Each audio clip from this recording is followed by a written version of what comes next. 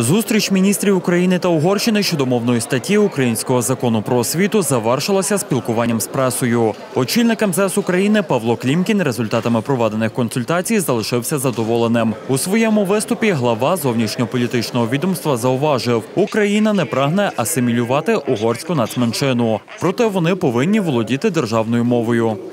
Я в цілому задоволений сьогоднішніми консультаціями. Я дуже радий, що саме сьогодні ми тут зустрілися. Перший, так би мовити, перша частина нашої зустрічі була присвячена саме імплементації закону про освіту.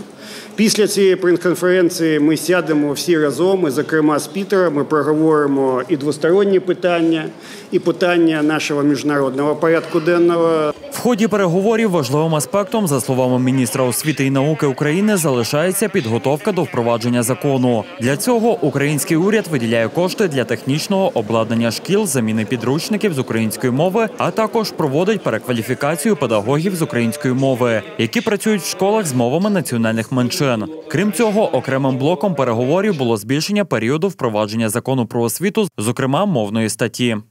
Нам потрібен час для підвищення кваліфікації вчителів, для відповідних методик, підручників, е, двомовних словників, повної підготовки і порозуміння для того, щоб ми могли рухатись далі до якіснішої освіти дітей.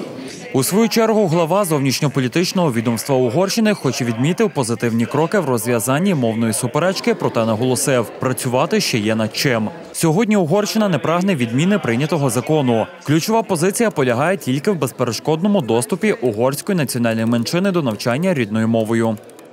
Сьогодні ми не хотіли дискутувати про те, яким чином український закон про освіту зробити більш ефективним для освоєння державної мови. Ми просимо тільки одного, щоб ця робота проходила так, аби це не заважало угорській національній меншині. Навчання угорською мовою не повинно страждати від того, що Україна бажає зробити знання української мови на більш високому рівні.